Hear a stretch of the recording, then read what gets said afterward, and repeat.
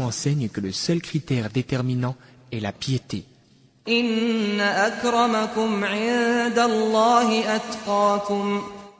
Le plus noble d'entre vous auprès de Dieu est le plus pieux. Treizième verset du chapitre du Coran, les appartements. Quant à la femme, sauf cas particulier, ses droits et ses devoirs envers Dieu sont les mêmes que l'homme. إن المسلمين والمسلمات والمؤمنين والمؤمنات والقانتين والقانتات والصادقين والصادقات والصابرين والصابرات والصابرين والصابرات والخاشعين والخاشعات والمتصدقين والمتصدقات والمتصدقين والمتصدقات والصائمين والصائمات والحافظين فروجهم والحافظين فروجهم والحافظات والذاكرين الله كثيرا والذاكرات أعد الله لهم مغفرة وأجرا عظيما Les musulmans et musulmanes, croyants et croyantes, obéissants et obéissantes, loyaux et loyales, endurants et endurantes, craignants et craignantes, donneurs et donneuses d'aumônes, jeûnants et jeûnantes, gardiens de leur chasteté et gardiennes, invocateurs souvent d'Allah et invocatrices, Allah a préparé pour eux un pardon et une énorme récompense. 35e verset du chapitre du Saint-Coran, les coalisés. Cependant, Dieu a créé chacun d'entre eux avec des particularités physiques et mentales, et les considérer égaux en tout point serait une injustice. L'islam est votre nature première. Tout le monde naît avec en lui l'idée du monothéisme. Cependant, ce sont les parents qui, par la suite, éduquent leurs enfants dans une croyance ou une autre, ou dans l'athéisme. Accepter l'islam ne signifie pas renier tous les prophètes précédents. C'est un retour vers le monothéisme pur, le message prêché par tous les prophètes depuis Noé, et l'idée avec laquelle nous sommes nés, plus qu'une conversion. Donc, l'islam est notre nature première. Les caractéristiques de la vérité. Êtes-vous sûr d'être dans la bonne voie? Les critères pour distinguer la vraie croyance de l'égarement sont les suivants. Elle doit être Premièrement, elle doit être en accord avec la saine raison. L'homme doit utiliser sa raison et son intelligence, être objectif et laisser de côté ses préjugés pour pouvoir distinguer la vérité du mensonge. La vérité ne se heurte pas à la raison, mais plutôt elle est en conformité avec elle. Deuxièmement, elle doit être parfaite. Dieu est parfait. Sa révélation est parfaite et exempte de toute contradiction et de toute erreur. Troisièmement, elle doit être dénuée de mythes et de superstitions. La révélation de Dieu ne comporte aucun mythe ni aucune superstition ajoutée par les hommes. Elle émane de lui seul et est la vérité absolue, inaltérée. Quatrièmement, elle doit être scientifiquement correcte. Confrontée aux découvertes scientifiques modernes, la révélation divine ne comporte aucune contradiction. Cinquièmement, elle doit être annonciatrice de prophéties qui se sont réalisées. Dieu connaît toutes les choses avant qu'elles ne se réalisent. Il connaît l'avenir.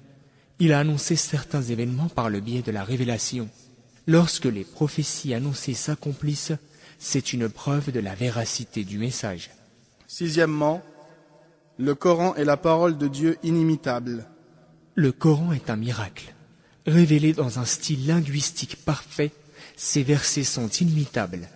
D'ailleurs, Dieu a mis au défi quiconque de reproduire ne serait-ce qu'un seul verset comparable à son noble Coran, et cela n'a jamais été fait.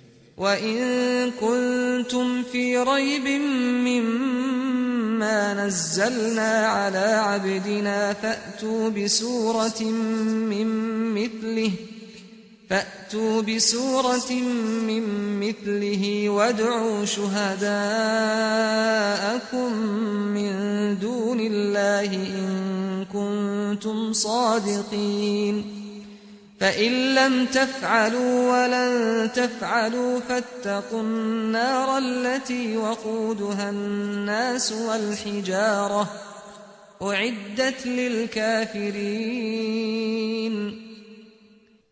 Si vous avez un doute sur ce que nous avons révélé à notre serviteur, tâchez donc de produire une sourate semblable et appelez vos témoins, les idoles, que vous adorez en dehors d'Allah si vous êtes véridique. Si vous n'y parvenez pas, et à coup sûr, vous n'y parviendrez jamais, parez-vous donc contre le feu qu'alimenteront les hommes et les pierres, lequel est réservé aux infidèles.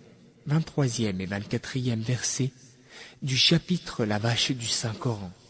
Conclusion. L'islam n'est pas une religion nouvelle. C'est par essence le même message que Dieu a révélé à tous ses prophètes, exprimé dans sa forme complète et définitive. C'est la continuation et l'accomplissement des messages des prophètes antérieurs. Ils proviennent tous de la même source, Dieu. Le Saint-Coran mentionne اليوم أكملت لكم دينكم وأتممت عليكم نعمتي ورضيت لكم الإسلام دينا Aujourd'hui, j'ai parachevé votre religion, j'ai parfait sur vous mon bienfait, et j'agrée pour vous l'islam comme religion. Troisième verset du chapitre La table servie du Saint-Coran. L'islam est le message divin dans sa forme définitive. Il abroge les révélations précédentes et les scelle. C'est une obligation pour toute personne à qui il est clairement exposé de l'accepter et de le suivre. ومن يبتغ غير الإسلام دينا فلن يقبل منه وهو في الآخرة من الخاسرين Quiconque désire une religion autre que l'islam ne sera point agréé et sera dans l'au-delà parmi les perdants.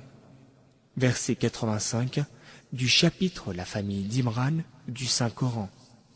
À présent, le chemin emprunté vous a clairement été exposé, mais vous êtes libre d'accepter ou de refuser le message. La décision est entre vos mains. Puisse la lumière de la vérité éclairer votre cœur et votre esprit. Puisse-t-elle vous guider vers la paix et la croyance correcte dans la vie d'ici-bas et être pour vous une miséricorde éternelle dans l'au-delà?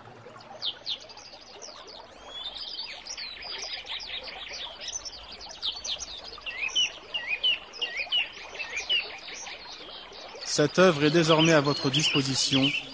Après l'avoir mise en pratique, propagez-la, conformément à la parole prophétique. Transmettez de ma part, ne serait-ce qu'un verset.